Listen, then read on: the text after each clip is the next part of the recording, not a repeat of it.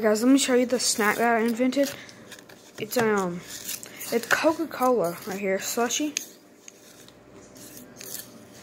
And so you pour Coca-Cola in a cup, and then you put a put a spoon like that or like that. Usually it's gonna fall over, but that's fine.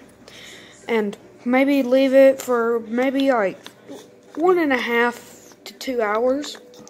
And on the outside it should be like hard for a little bit, like hard. You can't poke through it when you pull it out, it's going to leave a hole, and then there's going to be juice on Coca-Cola coming up from there. Because on the inside, there's Coca-Cola, and on the outside, it's like ice.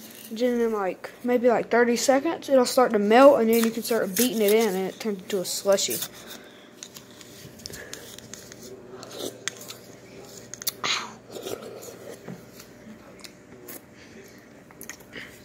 Homemade Coca-Cola slushy.